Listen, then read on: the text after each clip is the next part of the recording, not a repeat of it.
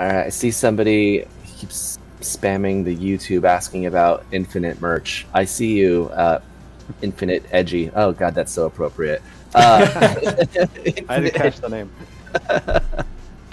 All right, so Infinite Edgy, I see you uh, noted you want some Infinite uh, merchandise. Uh, let me take that back to to the folks here and see what we can we can get done for you. All right.